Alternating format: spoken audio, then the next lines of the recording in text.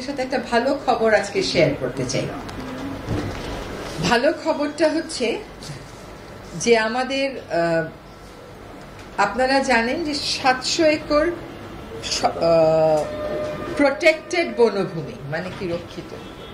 মানে রক্ষিত বনভূমি, এটা আমাদের কক্সেস বাজারে, এইটা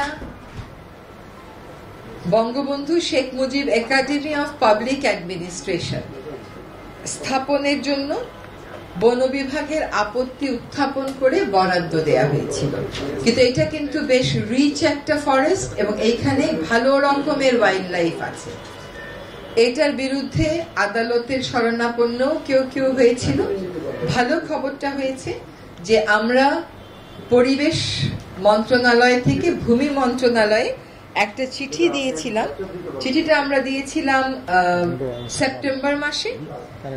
এবং আমাদের সেই চিঠির প্রেক্ষিতে সরি চিঠিটা আমরা দিয়েছিলাম উনত্রিশে অগস্ট দু হাজার চব্বিশে, যে এই বরাদ্দটা বাতিল করে দেন, কারণ এটা বন বিভাগের আপত্তি উপেক্ষা করে দেয়া হয়েছে। বাংলাদেশে বনভূমির পরিমাণ অনেক কম, জীববৈচিত্র্য হুমকির সম্মুখে, বন্যপ্রাণীও হুমকির মুখোমুখি।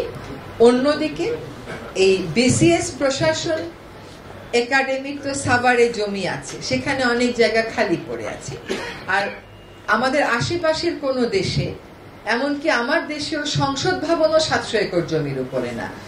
আন্তর্জাতিক বিমানবন্দরও সাতশো একর জমির উপরে না। তাহলে প্রশাসন ক্যাডারের একটা একাডেমির জন্য আমাকে সাতশো একর বন কেন স্যাক্রিফাইস করতে হবে?